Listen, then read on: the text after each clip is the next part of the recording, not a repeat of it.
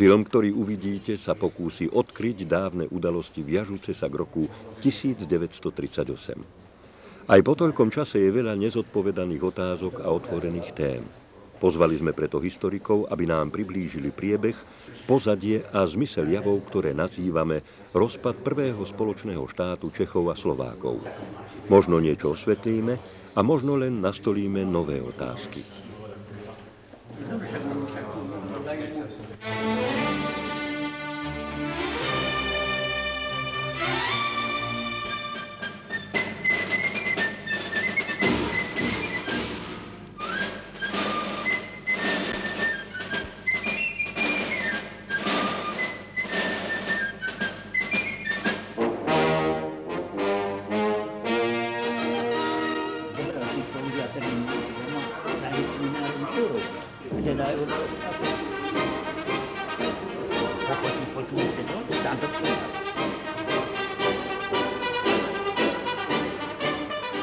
Táto armáda a tento muž určovali vývoj a smerovanie udalostí v tom osudovom roku.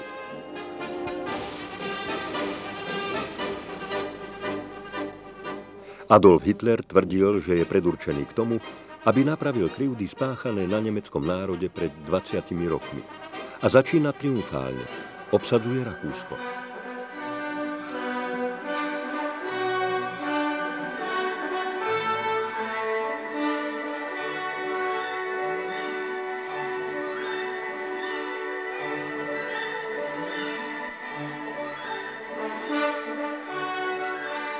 Táto anexia dodala odvahu ďalším mužom, ktorí v Československu volajú po pripojení k ríši.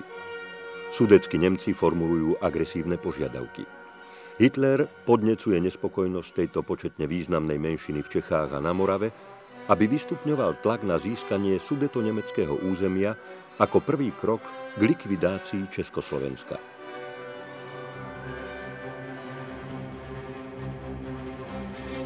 Keď si potom v októbri 1938 odskočil do Petržalky, poprvý raz uvidel Bratislavu. Slovensko ho zaujímalo len potiaľ, že ho raz chcel využiť na rozbitie Československa. Už vtedy sa vraj vyjadril o soche Českého leva pri Dunaji. Tá mačka musí zmiznúť.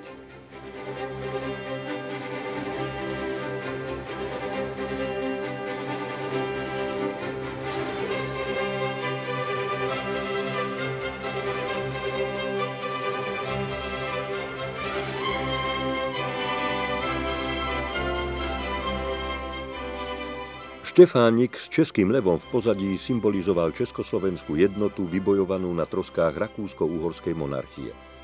Dedictvom mnohoročnej maďarizácie bola mravná i politická devastácia vo všetkých oblastiach. Nebola tu jediná stredná škola, meštianka, učiteľský ústav, obchodná či priemyslová škola s vyučovacím jazykom slovenským. Iba 390 učiteľov sa hlásilo k slovenskej národnosti, ani tí však neovládali spisovný jazyk. Slovákmi boli len dvaja profesori a jeden sudca. Na sklonku vojny bol v uhorskom sneme len jeden slovenský poslanec. Pre Slovákov bolo jedinou záchranou vytvorenie spoločného štátu s českým národom. A tak po roku 1918 nastali nové časy. Na Slovensko prichádzajú českí učitelia, sudcovia, úradníci, žandári, vojaci, železničiari, báj poštári. Prinášajú nové myšlienky, iné zvyky. Rozumie im najmä mladá generácia. Slovenská spoločnosť sa rýchlo regeneruje a získava sebavedomie. V Bratislave, tomto národnostne zmiešanom meste, silnie slovenský živel. Aj v iných mestách, Žiline, Martine, Ružomberku, nastupuje silná generácia vzdelaných a energických osobností.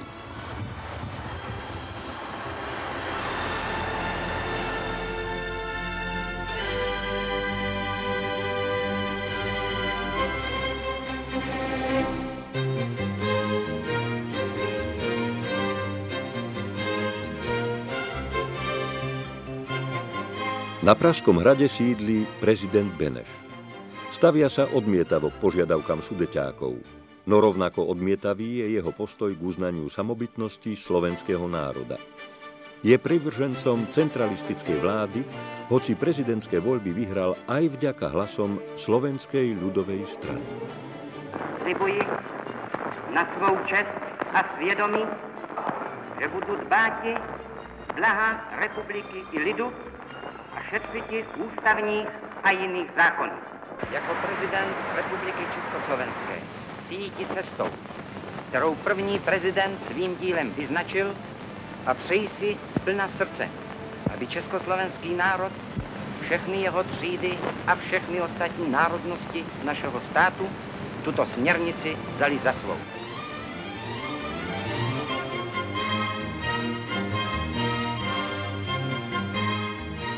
Idei československého národa zostal prezident Beneš verný až do konca. Túto ideu v tej či onej podobe vyznávali aj ďalší politici. Určitú dobu Milan Hoďa, ale vždy Ivan Dérer, Vavro Šrobár a iní. Vyzdvihovali českú pomoc pri formovaní slovenskej administratívy a vzdelanosti.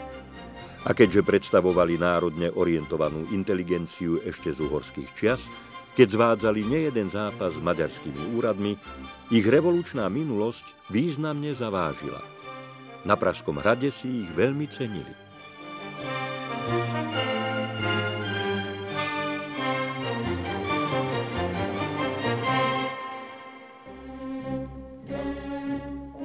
Oproti ním stál Andrej Hlinka so svojou slovenskou ľudovou stranou. Hlinka mal tiež revolučnú minulosť.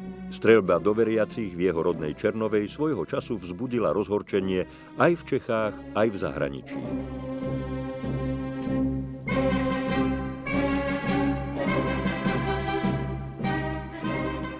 Hlinka stál aj pri zrode spoločného štátu Čechov a Slovákov.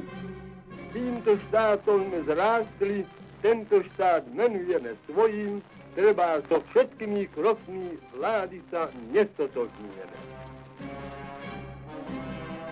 No Hlinka mal za sebou aj československé väzenie a dlhoročný zápas o slovenskú autonómiu. Moje presvedčenie je autonomistické, ponieważ som vidím silu a budúcnosť štátu. Tejto myšlienky sa ujala veľká časť mladej generácie, ktorá nesúhlasila s koncepciou jednotného etnického československého národa. Spojením Slovenskej ľudovej strany so Slovenskou národnou stranou vznikol autonomistický blok, ktorý už predstavoval významnú politickú silu. Svedčia o tom aj zábery zo sláv tisíctého výročia vysvetenia Pribinovho kostola v Nitre v roku 1933.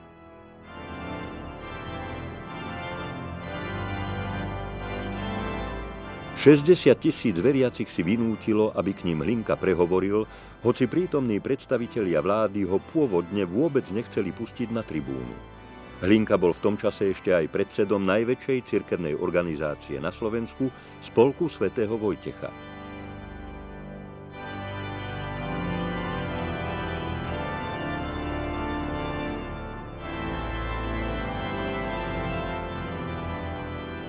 Čo sa stalo v tejto spoločnosti?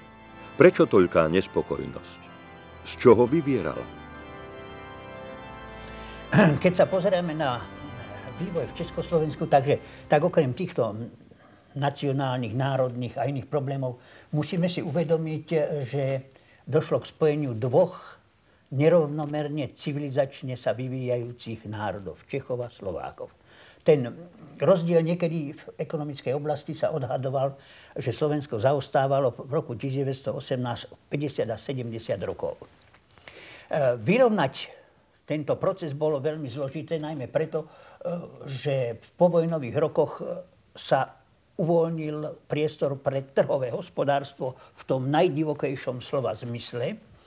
To je, že tá silná česká ekonomika samozrejme potom tak by som povedal, doslova prevalcovala e, v mnohých smeroch tú slovenskú ekonomiku, ktorá za Rakúsko-Uhorska požívala určité, určité výhody, bola podporovaná štátom a udržovaná štátom a tak trošku pestovaná vzhľadom tie, tej situácie. No a nebola to len otázka voľnej konkurencie alebo hry síl, ale bola to aj otázka štátnych objednávok a tak ďalej, kde tie slovenské priemyselné podniky boli častokrát obídené. Takže toto bol dosť taký necitlivý vzťah k Slovensku, ktorý ale samozrejme potom mal e, spätný vplyv na to, že sa tu tvoril ten radikalizmus aj politický. Čiže sa tu vlastne živili také prúdy e, politické, ktoré vlastne e, sa stavali aj teda proti základom častokrát Československej republiky. Prakticky, či to boli autonomistické strany alebo centralistické strany, v 30 rokoch žiadajú, aby sa skončil prísun českých zamestnancov na Slovensku. Ja všetci uznávali a všetci aj historici uznávajú obrovský prínos e, uplatnenia sa českých zamestnancov po roku 1918 na Slovensku. Ale je potom problém, kedy mali skončiť a dokedy mali pôsobiť, pretože tu dochádzalo ku konfliktu zájmov.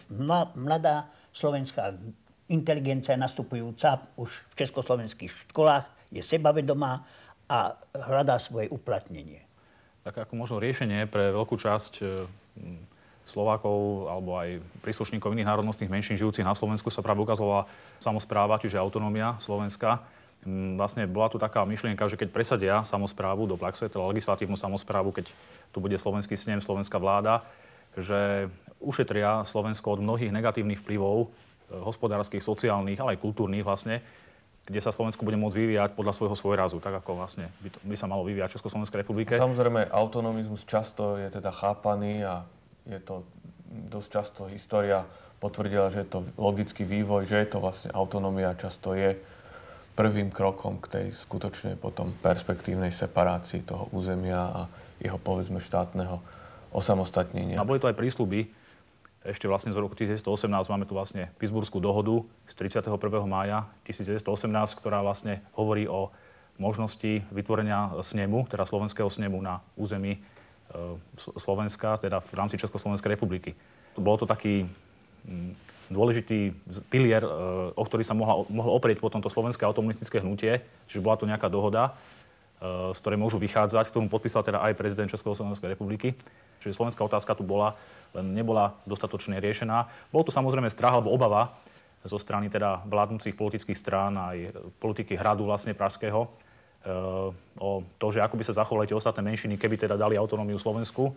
Pokiaľ ide o to spochybňovanie e, Pittsburghskej dohody, samozrejme, keby sme na to pozerali čisto formálno právne, išlo o dohodu českých a slovenských krajanských organizácií o spoločnom postupe, kde najmä tí slovenskí krajania, ktorí už boli do istej miery rozhľadenejší, povedzme napríklad ako martinskí deklaranti na Slovensku, tak už aby nejaký projekt podporovali, potrebovali isté záruky, aby, ktoré by tomu Slovensku e, v tom budúcom štáte garantovali aspoň nejakú tú minimálnu autonómiu vo forme vlastnej administratívy a vlastného zastupiteľského orgánu, čiže snemu.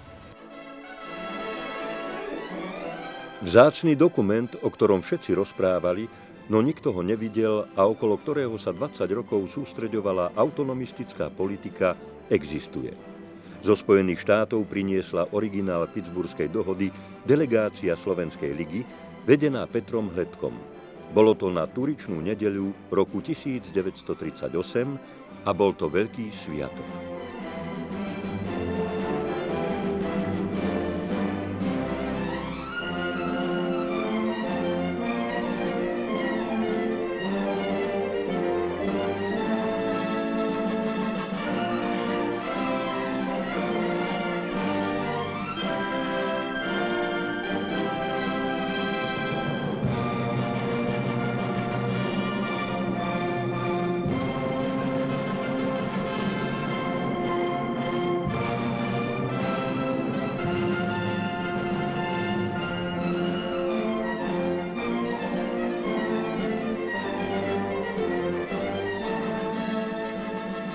No na druhý deň sa konala rovnako veľká manifestácia agrárnikov a sociálnych demokratov, ktorí nesúhlasili s autonomistickými požiadavkami ľudákov a volali heslá za jednotu republiky. Nuž demokracia. Onedlho týmto názorovým rozdielom urobia koniec práve Hlinkovi prívrženci.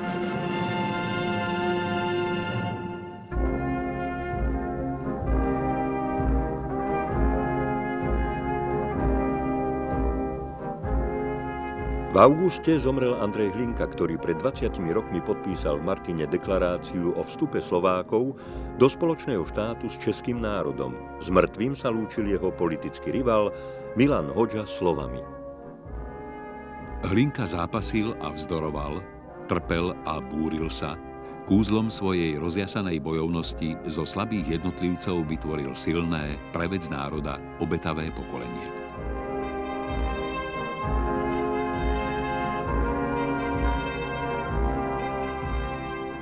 Hlinkovi spolupracovníci sa hlásia k jeho odkazu. Zavezujú sa naplniť politický program, ktorý Hlinka už nestihol završiť – autonómiu Slovenska v rámci Československej republiky. Ale pomenujú po ňom aj militaristickú organizáciu Hlinkovú gardu. Reč a chlieb si chránime, nikomu sa nedáme, na Slovensku po slovensky celo hlásame. Hore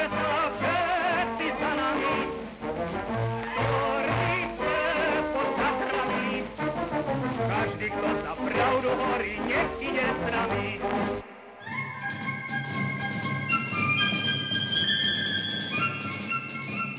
V celej Európe dunia pochody, no vojna je zdá sa ďaleko. Ani toto ešte nie je vojna. Je to námornícke predstavenie na lodi Patria, ktoré dáva Hitler pre svojho hostia. S maďarským regentom, admirálom Mikulášom Hortým sa Führer chce dohodnúť o spoločnej intervencii proti Československu. Pre svet to bude ukážka, že obe krajiny poškodené Versajskou zmluvou sa spájajú, aby odčinili niekdajšiu krivdu.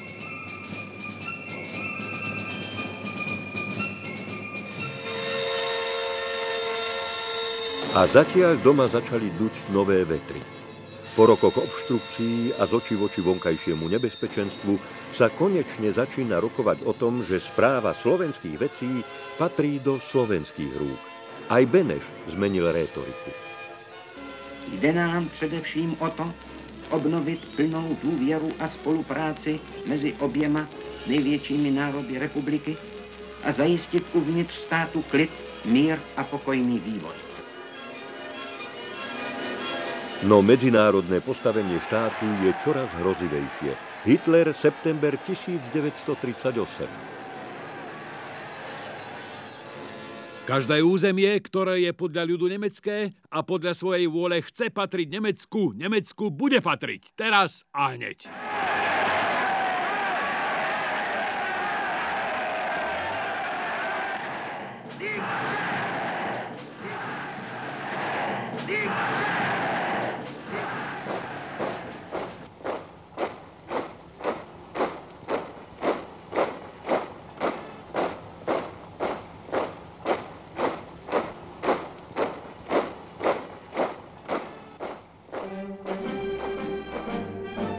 Hitlerové vyhrážky nezostali bez ohlasu.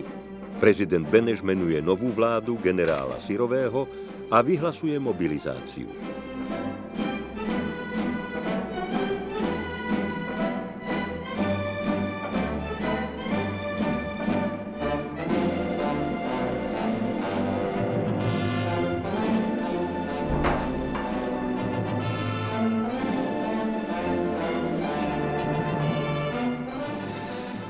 Lete 1938 e, v Československu e, silne tlak obyvateľov, ktorí chcú brániť štát, takisto ako aj armáda sa pripravuje brániť republiku pred prípadným agresorom. Prichádzajú tu rôzne misie a hlavne potom sú tu tlaky zo zahraničia, hlavne rôzne noty, ktoré nám postupne dávajú Francúzska Veľká Británia, aby sa riešila v prvom rade otázka sudeckých Nemcov a následne aj ďalších menšín Československu. Za prvý mobilizačný deň bola určená nedela 25. septembra a mobilizácia mala prebiehať 5 dní a malo byť zmobilizovaných 18 ročníkov. Ako pro, provizorné hlavné mesto republiky sa mal stať Turčiansky svätý Martin. Hlavné veliteľstvo armády e, sa presťahovalo do priestoru Vyškova na Morave a boli zmobilizované postupne 4 armády, ktoré mali 4 veliteľstva, zhruba v počte okolo 1,5 milióna vojakov. Z toho bolo 660 tisíc vojakov priamo zaradených do bojových útvarov. Na Slovensku bola zmobilizovaná tretia armáda pod krycím názvom Štefánik, ktorá mala dovedna 117 tisíc mužov, ktorí boli pripravení na obranu pred prípadným agresorom v prvom rade proti Maďarsku. Táto armáda mala byť v kontakte s ustupujúcimi armádami v českých krajinách, pretože samostný strategický zámer obrany štátu počítal s tým, že armáda bude viesť ústupový boj a že tento boj bude spolu v rámci koaličnej vojny. Konkrétne tu stojíme pri jednom pamätníku, teda objekte, ktorý tiež sa mal podielať na obrane štátu. Bola vybudovaná celá fortifikačná sústava okolo hraní štátu od um, Štúrova až po Mukáčevo na podkarpatskej Rusi. Okolo 1600 ľah- e, objektov ľahkého typu a potom pri Bratislave a ešte pri Komárne aj takéto ťažké objekty, ako je tento konkrétny pechotný zrub. Žiaľ, pripravenosť a odhodlanie armády, ako aj celé vernosti brániť svoj štát, zmarilo osudové politické pozadie Mnichovskej dohody z 29. na 30. septembra. No všetko dopadlo inak. Naša armáda musela opustiť bojové pozície. Hitlerovo vojsko vstúpilo do Sudet. Územie obývané Nemcami prestalo byť súčasťou Československa.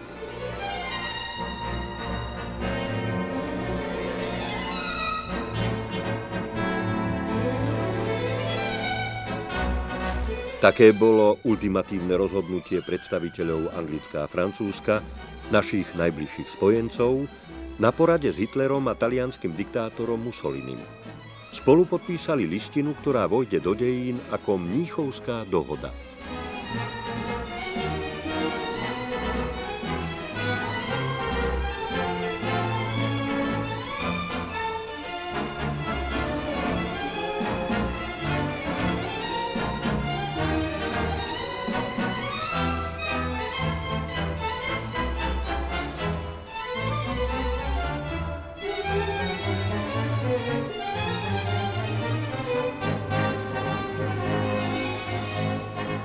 Všetci sú uveličení, pretože ich mená na listine zaručujú mier svetu. Takto aspoň tvrdí britský premiér Chamberlain. Pre malú krajinu v srdci Európy však znamenajú začiatok skazy. Tisíce ľudí putovali krajinou bez domova, vyhnaní z vlastnej dediny, z vlastného dvora.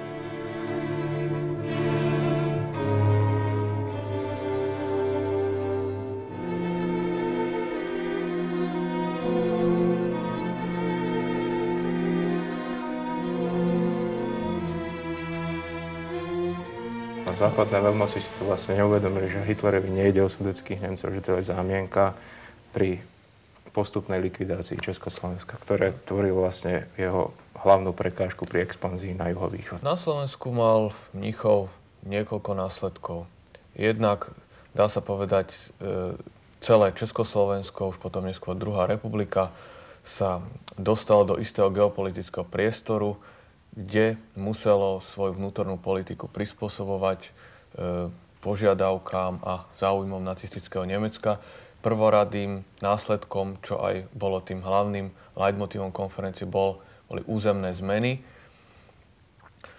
Priamo sa Slovenska dotkli len, v, dá sa povedať, v dvoch, v krátkom čase po Mníchove, dvoch území nedaleko Bratislavy, jednak je to Petržálka a Devín. No ale ja, ja by som to povedal takto. Po Mníchove najväčšie požiadavky, ktoré boli vôbec kladené, územné, boli kladené voči Slovensku. Kládli ich Poliaci, Nemci, Maďari a dokonca aj zakarpatskí Ukrajinci. Všetci. Všetci susedia chceli, chceli oklieštiť e, toto územie a v troch prípadoch, čiže Poliakov, Maďarov a Nemcov sa to podarilo. By som sa ešte vrátil k okupácii Petržalky a Devína. Tak e, Petržalka vlastne bola začlenená do tej štvrtej zóny v rámci tých štyroch zón, ktoré e, malo Nemecko obsadiť do 7. Ale Potom... pán kolega, ale v tých mapách, čo boli vydávané a zakreslené, tam tá Petržalka není. 2. októbra, keď Hitler členom Medzinárodného výboru, nemeckým členom Medzinárodného výboru, prikázal, aby sa zasadili o to, aby Petržalka bola za, začlenená do jednej z tých zón, pretože pre budúcnosť môže, mať ešte, môže byť využitá ako akýsi kompenzačný objekt, či už voči Maďarom, alebo aj samozrejme voči Slovákom. Po Mnichove e, Československo vlastne, jeho možnosť obrany, aktívnej obrany voči nejakej agresii, ako oklieštené územia sa veľmi znížila. V podstate bolo vydané na milosť a nemilosť Nemecku, nemalo žiadne garancie hraníc. Čiže v podstate bola to hračka v rukách Nemecka, ktoré už diktovala teda e, československým politikom, že musia usmerniť svoju vnútornú politiku e, a viesť ju vlastne v súlade s nemeckými záujmami. V októbri sa slovenské politické strany okrem ľavicových zišli v Žiline. Z rozhlasu práve znel abdikačný prejav Eduarda Beneša pred jeho emigráciou do zahraničia. Odhodláváme-li se k tomuto řešení i ve chvíli vzrušené, ve chvíli otřesené důvěry, je jisto, že tím přinášíme nemalou oběť v záchraně obecného míru. Čas pre autonómiu dozrel. Praha to potvrdila aj ústavným zákonom a vymenovala Jozefa Tisu za predsedu slovenskej autonómnej vlády všetci sú spokojní. Hovoria o víťaznom završení samourčovacieho práva pre slovenský národ a o prevzati výkonnej a vládnej moci na Slovensku. Toto sú pôvodné amatérske filmové zábery z aktu podpisovania manifestu.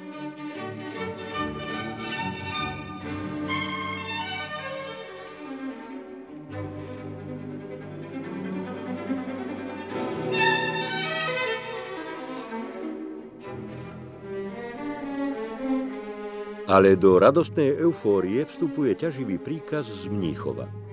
V Komárne začína rokovanie o maďarských územných požiadavkách, hoci ich noviny píšu o anexii Slovenska ako o hotovej veci. Musíme zjednocovať sily periférie, na úzde ich držať a pevnou vôľou, spolahlivou spravodlivosťou v záujme európskej jednoty zachovať poriadok.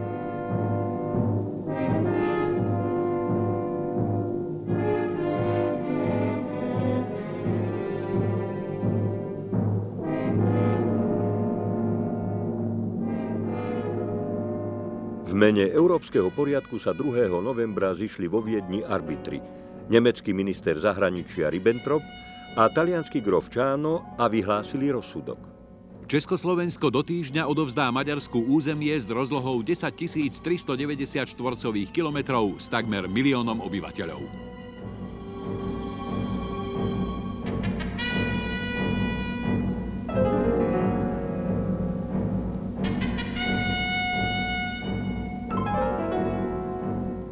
Hitlerov spojenec Horty na bielom koni vstupuje do Košíc a jeho četníci a vojsko obsadzujú najvýznamnejšie centrá južného Slovenska.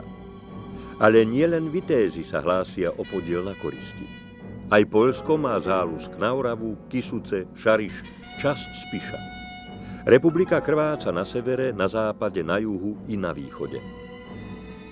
A znova putovali krajinou ľudia a dedina už nebola ich dedinou, a dvor ich dvorom.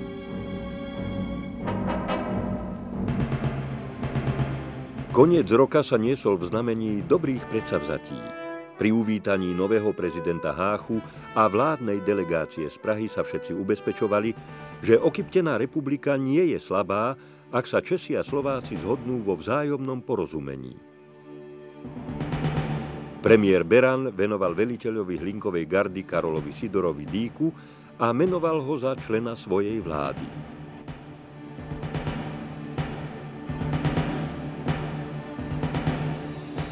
Prvé interview nového ministra. Pane ministře, povězte nám laskavě, jak si představujete poměr mladých Slováků a mladých Čechů. Mladí Slováci uplatňujú sa dnes v politike, v umení a vo vede. Ale profil mladých Čechov v politike dosiaľ ešte nevidíme. Všetci Slováci sú presvedčení, že s Čechmi, politicky nezaťaženými hriechami minulosti, môžu budovať štát, v ktorom sa oba národy, Slováci i Česi, budú dobre cítiť. Dobre, tu používa termín najväčší národ, kde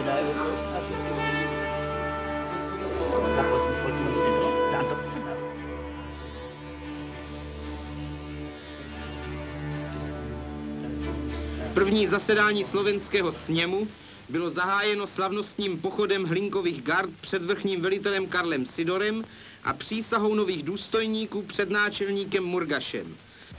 prvního zasedání slovenského sněmu v budově Slovenské univerzity zúčastnili se ministerský předseda ústřední vlády Rudolf Beran, ministr národní obrany armádní generál Sirový, předseda senátu doktor Soukup, zástupci karpatoruské vlády, armády, církve a kulturního života. Zasedání sněmovny zahájil nejstarší zvolený poslanec doktor Josef Budaj. Předsedou sněmovny byl zvolen poslanec doktor Martin Sokol, který složil slib do rukou předsedy vlády doktora Tiso. Treba povedať, že v tom čase bolo na Slovensku asi 93 tisíc Čechov podľa ščítania, ktoré nariadil Tiso 31. decembra. Ale k českému národu ako takému sa hlásilo asi 73 tisíc. To bolo podľa domovskej príslušnosti, to je, kde sa narodili. Bolo tu asi 20 tisíc českých zamestnancov, ktorí pracovali v slovenskom prostredí. Samozrejme, to sa považovalo za povedané v úvazovkách za kradnutie miest Slovákom. Takto sa to servírovalo, takto sa to podalo, takto sa to riešilo. A očakávalo sa, že odsunom týchto Čechov dostanú Slováci, e, Slováci miesta. Ale bolo to aj v takom školstve, kde samozrejme poslali e, vysoko kvalifikovaných profesorov domov na takej lekárskej fakulte, kde vynikajúcim spôsobom, veď lekárska fakulta tu začínala budovať sa na e, zelenej lúke v svojej podstate a dosiahla vysokú úroveň práve preto, že prišli vysoko kvalifikovaní odborníci ktorí po 20 rokoch e, činnosti museli odísť. O odchode českých zamestnancov zo Slovenska hovorí poslanec Pavol Čarnogurský. Ja som mal Čechov, nie, mali sme každý riaditeľa to.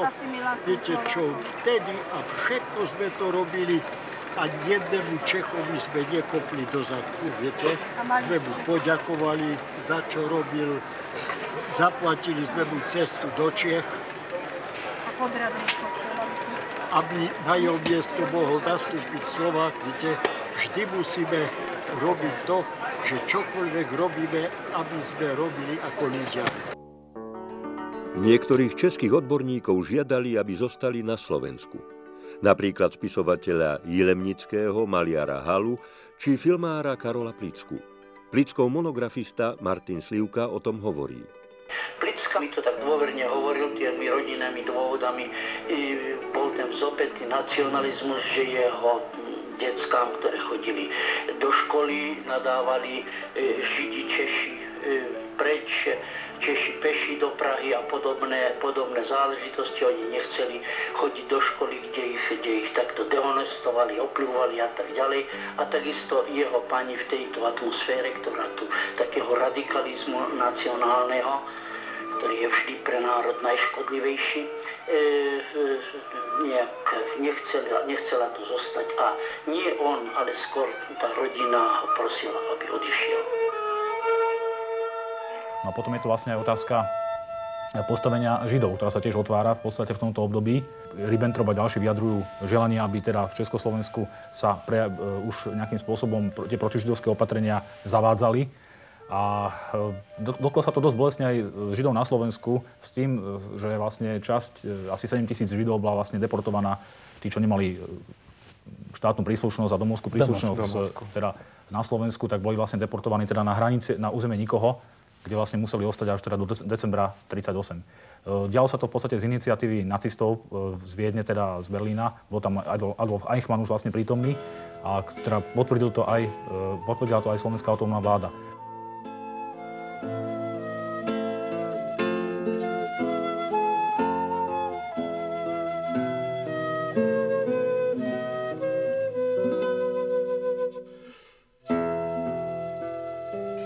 Myslím, že podstata veci, eh, ktorú, o ktorej by sme mali hovoriť po Mnichove, je zmena vzťahu Nemecka k Slovensku v porovnaní predchádzajúcimi e, obdobiami. Však koľko nemeckých agentov a akých sem prenikalo, s akými cieľmi a s akými snahami. Nemci zbierali na Slovensku informácie rôznymi kanálmi, popri týchto oficiálnych úradňovniach, ako bol nemecký konzulát v Bratislave po 6. októbri hm, prichádza na Slovensko celá plejada rôznych agentov, e, špiónov alebo pracovníkov tajných služieb.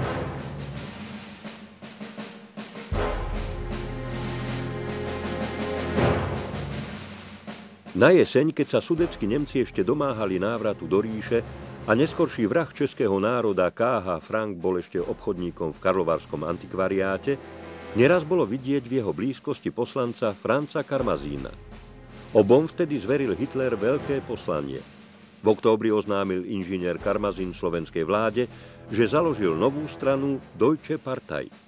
Strana bola okamžite zaregistrovaná, zatiaľ čo sociálno-demokratickú, komunistickú a židovskú stranu Tisova vláda zakázala. Titul vedúcej sily spoločnosti získala bezkonkurenčne len Hlinková strana.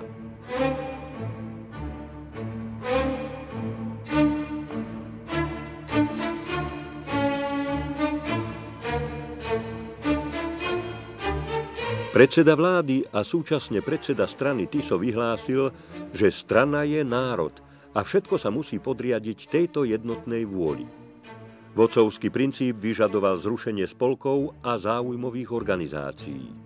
Vznikla jednotná hlinková mládež, a to podľa vzoru hlinkovej gardy, ktorá je ozbrojenou zložkou strany.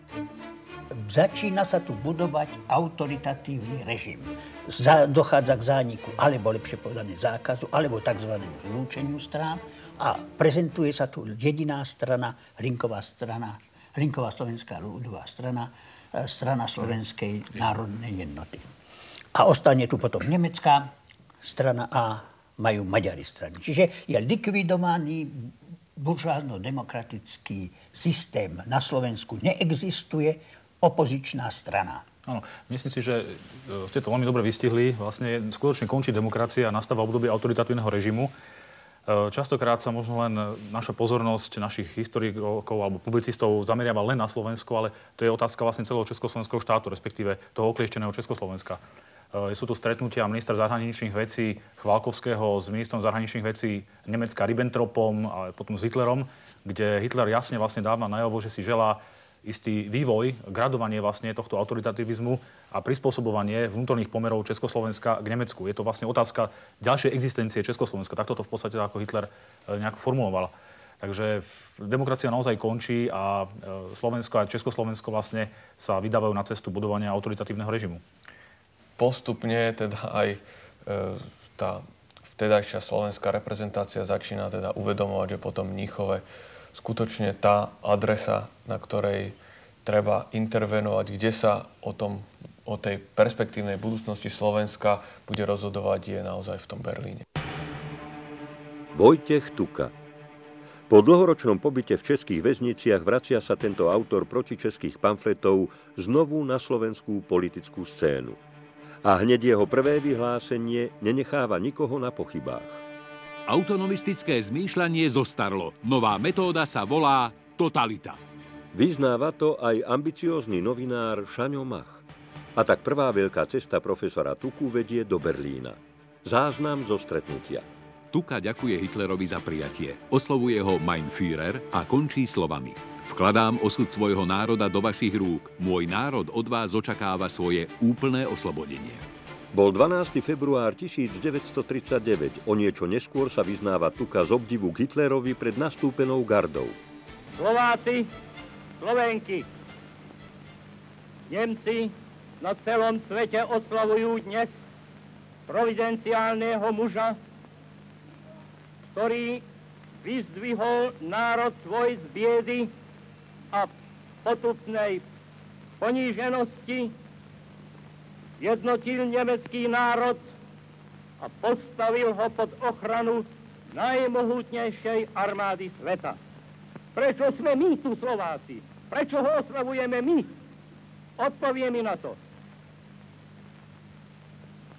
On pustil do sveta tú zásadu, že slabému, nepracovitému, ktorý nevie postaviť sa na obranu svojich práv neprináleží sloboda, ale zdatnému, pracovitému, poctivému národu, i keď je sebelenším, áno, patrí sloboda, patrí štát, patrí... Nedôvera, ktorá tu existovala medzi autonómnou a ústrednou vládou v podstate, e, gradovala vo februári 1939, keď e, generál Eliáš inicioval stretnutie, tajné stretnutie českých ministrov v Nouzovie, v chate Čeperka, v uhorských lesoch v Čechách, kde sa vlastne hovorilo o potrebe vojenského zákroku proti Slovensku, aby sa eliminovali radikáli v autonomistickom tábore. Tak samozrejme, že Nemci hmm, pozerali s určitými nádejami na tú rastúcu diskrepanciu medzi slovenskou autonómnou vládou a ústrednou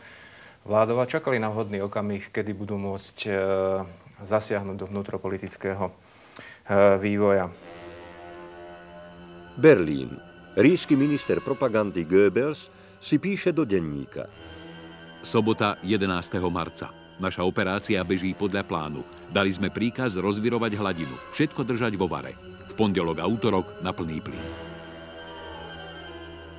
Na druhej strane dobrými informáciami e, disponoval aj vodca nemeckej národnostnej skupiny na Slovensku, Franz Karmazin. E, veď e, sám vlastne sprostredkoval Tukovi prijatie u Hitlera 12. februára a takisto v diplomatických kruhoch sa mu dostala do uší informácia, že Nemci už v polovici marca čosi chystajú. Hoci nemal to priamo povedať Slovákom, že čo, k čomu si takému dôjde, ale mal to nejakým spôsobom nepriamo naznačiť. Tak im to povedal pri víne. Tak im to povedal v Pezinku pri víne. Nastala Karmazínová hviezdna hodina. Za Dunajom v Petržalke v kaviarni Aucafé sa zhromažďujú jeho ordnery. Vo vhodnom okamihu zaútočia. Zatiaľ zosnovali niekoľko bombových atentátov a nočných výtržností v uliciach Bratislavy.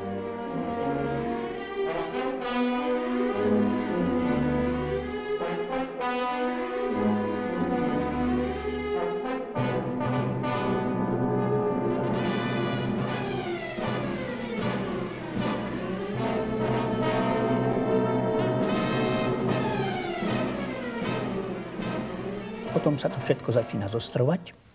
V priebehu februára vyhrocovať a prichádzame k tomu zlomovému bodu, ktorý potom odštartuje celý ten proces a to je ten tzv. Homolov puč. Praha odvoláva premiéra Tisa z vlády. Na podnet generála Eliáša zatýka viacerých slovenských radikálov, medzi nimi aj Tuku a Macha.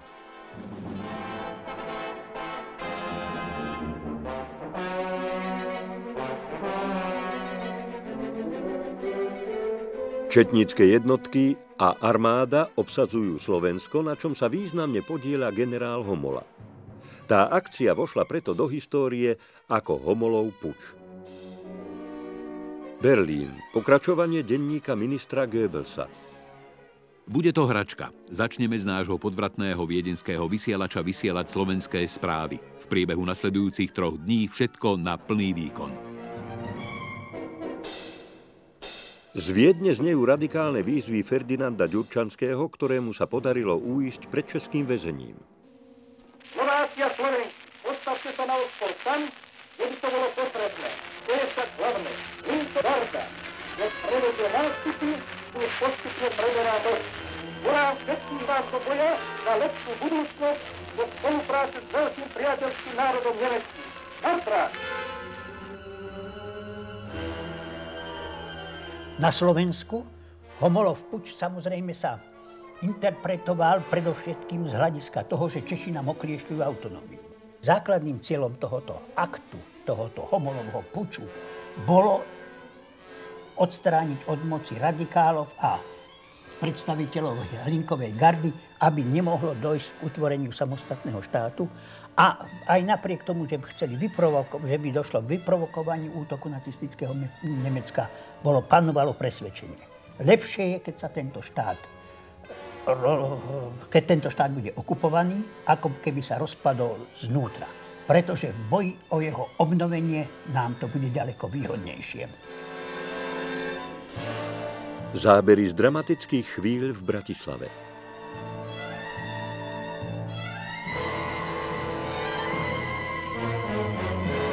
Po troch dňoch slovenských politikov prepustili z českých väzníc.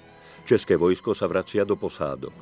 To všetko na príkaz novovymenovaného predsedu vlády Karola Sidora. Konečne nastal kľud. Alebo je to len ticho pred búrkou?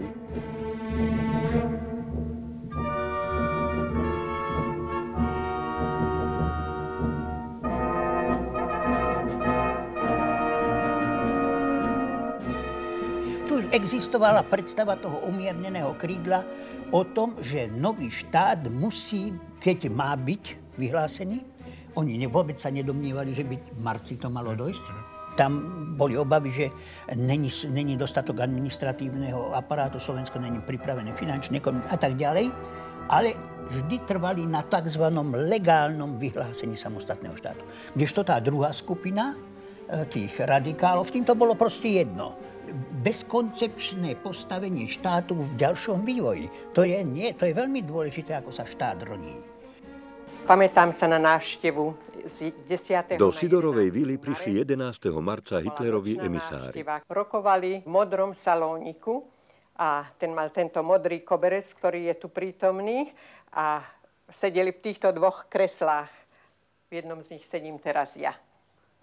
Z rozpamätúvania môžem povedať, že otec vtedy tam povedal nie, to bolo jeho prvé nie na to, čo oni navrhovali, totiž aby vyhlásil slovenský štát, on sám osobne.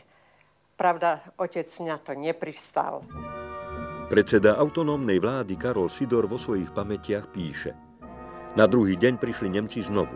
Tentoraz štátny sekretár pre zahraničie Kepler a Gauleiter Bürkel so suitou.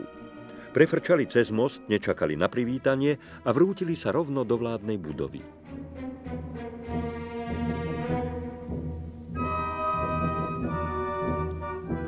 Začal Kepler. Hitlerovi vraj dochádzajú žiadosti o ochranu nad Slovenskom. Sidor o ničom nevie. Neráčte o mojich slovách pochybovať, ohradil sa Kepler. Opakujem, nik zo slovenských politikov sa na Führera neobrátil. V tom zdvihol hlavu Gauleiter Bürkel a veliteľsky zvolal. Herr Zidor, ja sa chcem s vami dôverne rozprávať. Vošli sme do vedľajšej miestnosti, Bürkel vyťahol telegram adresovaný Hitlerovi. V telegrame oznamuje Ďurčanský, že sa utvoril slovenský štát a prosí, aby bol tento štát vzatý pod ochranu Nemeckej ríše. Sidor opäť hovorí nie. Doktor Jozef Tiso. Jeho si nakoniec vybrali, aby dohral túto partiu. Spolu s Ďurčanským cestuje 13. marca 1939 do Berlína.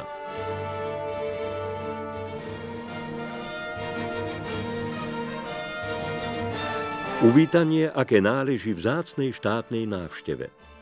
Zápis z rozhovoru s Hitlerom. Nemecko nemá záujem o Slovákov. Je mu ľahostajné, čo sa tam deje. Ale chce podporiť slovenskú samostatnosť. Ak sa neodtrhnete od Prahy, váš osud je spečatený. Za niekoľko hodín maďarská armáda začne s obsadzovaním Slovenska. Vaše rozhodnutie musí padnúť bličnal. Na Tisovú žiadosť sa 14. marca zišli poslanci Slovenského snemu. Bez značenia s pretuchou budúcich ťažkých dní odhlasovali vznik slovenského štátu. 15. marca Hitlerové vojská vstúpili do Prahy. Po Eh, okupácii Čech a Moravy nemeckými vojskami sa nemecké vojska nezastavili na hraniciach Moravy a Slovenska, ale pokračovali vlastne ďalej do údolia Váhu. Obsadili Žilinu, Nové mesto nad Váhom, Trenčín a tak ďalej. A tam máme aj tú malú vojnu. Veľkým paradoxom je to, že v deň, keď začala táto maďarská agresia proti východnému Slovensku, bola podpísaná ochranná zmluva medzi slovenským štátom a Nemeckom, ktorá vlastne garantovala integritu slovenského no, územia. No, práve že o 6 hodín neskôr podpísal Ribbentrop. A pritom ešte 21. marca v Berlíne rokoval s polským veľvyslancom Lipským o tom, že prípade, ak bude polská vláda ochotná ustúpiť v otázke Gdaňska, že si môže otrhnúť kus ano, Slovenska. že dostane kompenzáciu ano. na Slovensku. Áno. Po roku si Hitler pozval slovenskú politickú reprezentáciu do Salzburgu a nadiktoval jej národno-socialistickú vládu podľa svojich predstav.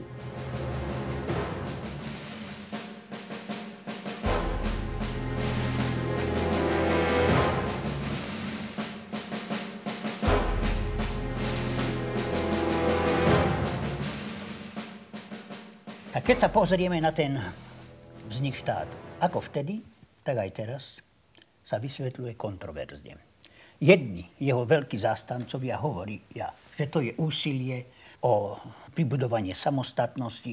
Druhá skupina tvrdí, že tento štát vznikol predovšetkým pod tlakom nacistického Nemecka v tomto období a v marci ho nikto neplánoval okrem radikálov vyhlásiť. Takto sa interpretoval takto sa interpretuje a ja myslím, že ešte dlho sa aj interpretovať bude.